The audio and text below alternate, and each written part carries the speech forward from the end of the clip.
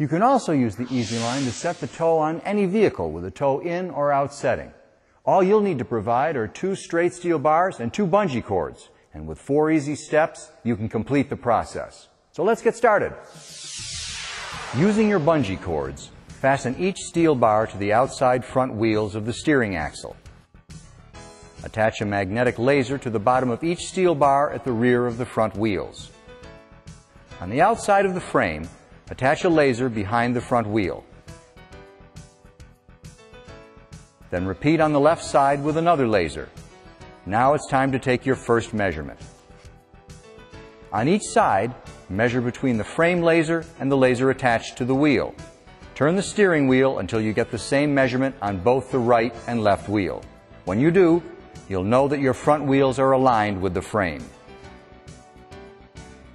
Remove the two lasers from each side of the frame and mount under the bar on the front side of each wheel.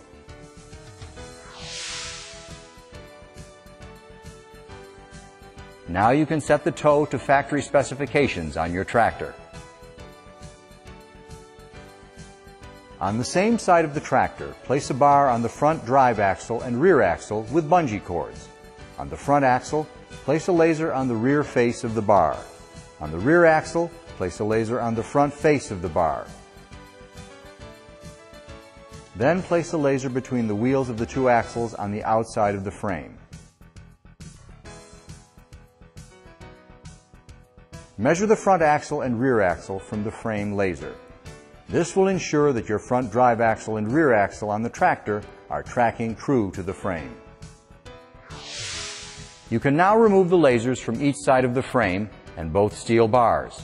Place two lasers at an equal distance from the closest point to the wheels on the front side of the front drive axle.